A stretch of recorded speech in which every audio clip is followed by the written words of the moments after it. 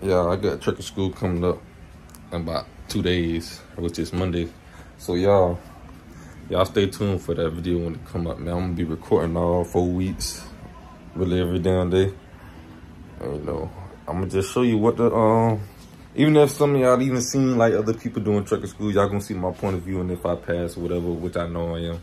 So y'all, y'all just have faith in yourself and everything. So when Monday come, you know I'm recording everything for y'all. Y'all just stay tuned for everything.